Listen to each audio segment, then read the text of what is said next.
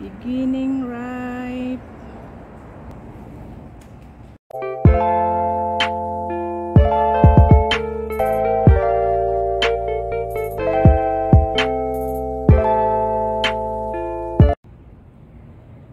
Hello, good morning guys.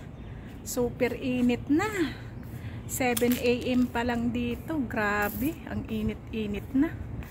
Malapit nang mahinog yung dates. Tingnan natin ha. Ang baba ng pipitasan ko. Tingnan mo. oh. Hindi ko na kailangan gumamit ng hagdanan. Pero alam nyo, kinakainan na ng ibon oh. Nangunguna na yung mga ibon. Ayun oh. Mababa lang siya kaya madali ko lang siyang mapipitas. Hindi ko na kailangan. Kasi alam nyo ba nung unang ano lang to, tinanim to ng kapatid ng amo ko ang liit. Tapos dito lang siya namunga na siya. Umpisa ganito pa lang siya namunga na siya. Hanggang tumataas ng tumataas. Ganito na siya. Sabi ko nga ang galing naman. ang dami, parang niyog sa atin, 'di ba? Sabi. Ayan siya. Oh. Pero yung may isang puno pa rin kami kaso lang hindi pa siya hinog. Pero nag-umpisa na rin siya. Ayan, o may dilaw na rin sa ibabaw niya. Ayan.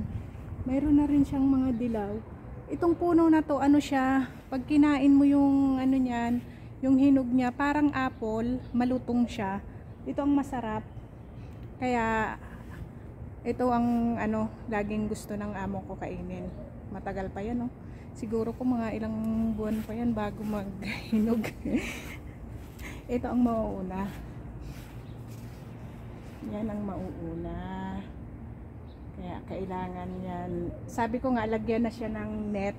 Mayroon kasi kaming net.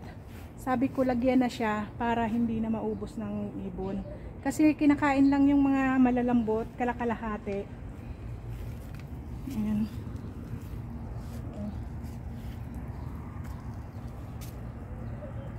Mayroon na din dito kahapon na nakuha yung amo. Yung kagaya nito, oh. Tingnan nyo. May unti na siya. Pag nakita yan ng ibon, kakainin niya na yan. Ayan, oh. May mga kalahati na.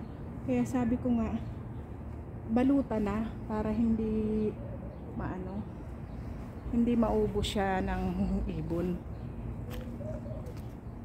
kaya ganyan malapit na yan kain-kain na na naman tayo. Ang sarap niyan. Pag ma hinog na. Ang gusto ko naman kasi doon hinog na hinog na.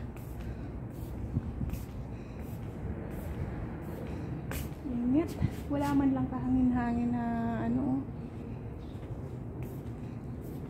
Okay guys, bye bye. Pinakita ko lang sa inyo ang dates na malapit ng mahinog. Bye.